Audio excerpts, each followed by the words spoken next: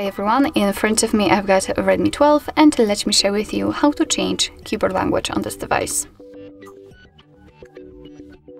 So first of all we have to open the app which will provide us with the keyboard. So for example the, um, the browser, messages, notes, uh, whatever, just have the keyboard on the screen like that.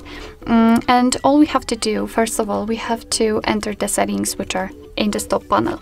Now let's enter the languages and this is the list of all uh, keyboard layouts which are currently applied. As you can see we've got only the English one so let's tap on add keyboard and here we've been transferred to the full list of available keyboards from which we can choose. As you can see we've got a lot of options to choose from.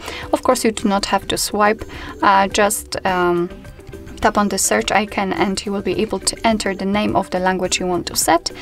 Um, and basically if you will find it, just tap on it.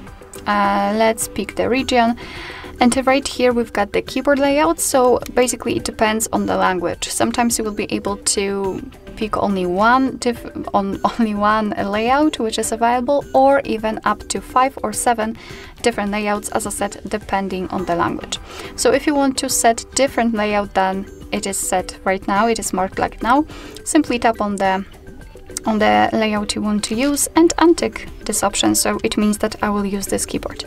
So let's tap on done and as you can see we've got the Urdu language applied to this list. So right now we can go back to the keyboard and check and basically we will have two differences. Right now only one is visible. It is this um, globe icon which will allow us to change the language because as you can see right now I've got the English, uh, English keyboard type and then after tapping on the globe icon I can switch to the Urdu one.